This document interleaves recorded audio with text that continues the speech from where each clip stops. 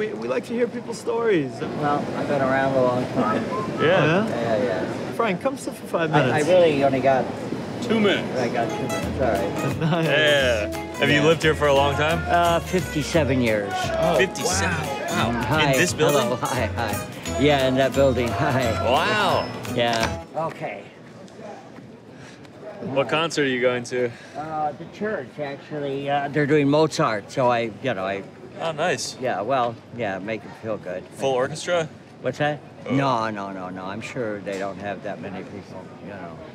I was going to make a funny joke, and it was you, me, you, and him over there. I said, well, you know, statistics is one out of four is gay. So I said, which one is it? Is it you, Frank? Yeah. Are you coming out to us? No, I'm, after all these years, I'm, I'm an establishment. Have you lived here for a long time? Uh, 57 years. 57. Wow. Hi. In this building? Hello. Hi. Hi. Yeah, in that building. Hi. Wow. Yeah, I'm very well known. Uh, my name is Frank Andrews, and if you go on the internet, you'll read all about me. What did you do? What are you known I used for? to. I retired last year. I, I'm a very famous psychic.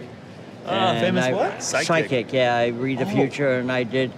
Grace Kelly, John Lennon used to come here. Yoko Whoa. Ono. Everybody came down here. Everybody. You know, uh, you Was it- I uh, mobsters, uh, soccer moms, uh, school teachers, doctors, nurses, priests, nuns. I hit them all. Yeah, every walk of life. But I'm tired now. I, I'm no more. I You still got the gift? Uh, I don't think it's something. know. I think it's something that everybody has in them, but most people kind of shy away from it. you What's know. the What's the nastiest future you've ever seen? Or you don't want to talk about it? The nastiest was the attack on New York, uh, and I wrote about it in the New York Times. Uh, no, I'm gonna, sorry, I don't know why I said the New York Times. I, sorry, sorry, sorry. New York Post. I used to write a column for them, and I said they're coming, and I said uh, anybody who believes that strongly, you can't stop it. And it was all there. I wrote about it, and I wrote is- about Clinton and his wife. Uh, they're going to have that's before the Monica Lewinsky. I said, you know, they're going to go through a horrible time, but he'll come out with he's lucky, you know.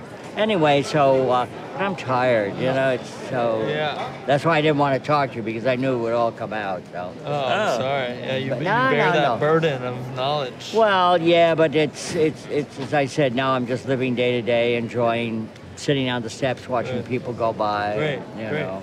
Yeah.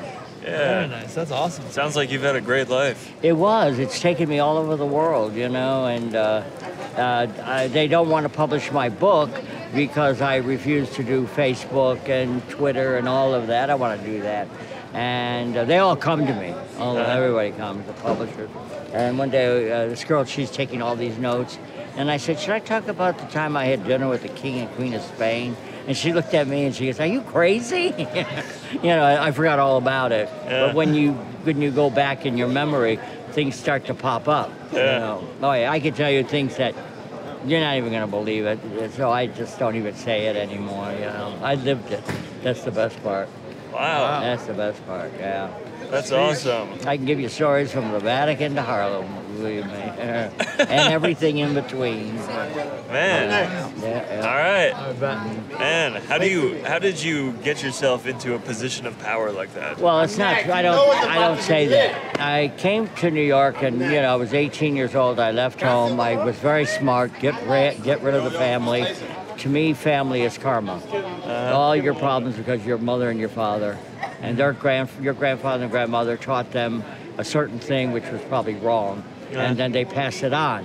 So I knew enough to get away. Even if your parents are the best parents in the world, you still have to get away from them because maybe you don't want to be like that. maybe you want to be something else. Yeah. So anyway, I left at 18 and I changed everything, everything. And I met, uh, of all people, you don't know it before your time, a lady by the name of Marion Tanner. And she's the, uh, uh, the basis of a book and a movie and a musical called Auntie Mame. And she loves psychics and astrologers. And so I met her. Three days I'm in New York and I meet this old lady.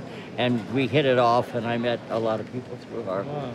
and so that's how it all began. You know. Very cool. Wow. Yeah, yeah, yeah. And you did that your whole life?